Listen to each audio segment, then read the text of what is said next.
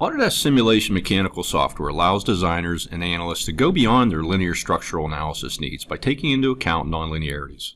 Some customers start out with known assumptions about what is nonlinear in the model, while others may run a linear static or dynamic analysis and see something that just doesn't look quite right about the results. Why? A nonlinear analysis just may answer this question. Let's take a look at the various nonlinear analysis types in Autodesk Simulation Mechanical product.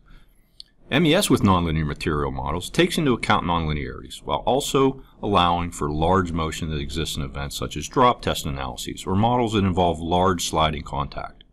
Static stress with nonlinear material models will also account for the same nonlinearities, however ignores time-dependent effects. Natural frequency modal with nonlinear material models solves for natural frequencies while allowing for complex material models such as viscoplastic or hyperelastic to be used. MES-Riks analysis is the same as the MES analysis above, but adds the ability to handle instabilities such as buckling automatically.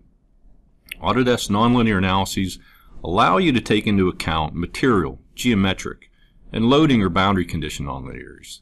Let's take a look at the various nonlinear material models first. The material models are organized in an intuitive, easy-to-use list.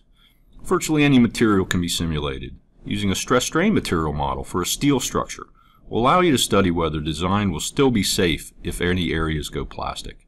Soft elastomers such as rubber seals that strain hundreds of percent can be set up as well. Another type of nonlinearity is geometric nonlinearity. This occurs when the stiffness of the structure or model changes during the loading process. Geometric nonlinearities like the snap-through action of an oil can or stiffening effects inherent in applying pressure to thin-walled enclosures are typical examples. Loading and boundary conditions can also have nonlinearities that are accounted for in Autodesk nonlinear simulations such as sliding contact as shown in this plastic clip analysis. Notice the amount of change in the pressure loading direction in this simple plate analysis. So in summary, we have seen multiple reasons why engineers and designers use Autodesk nonlinear analyses, staying in the same easy-to-use interface that they are already familiar with. Thanks for watching.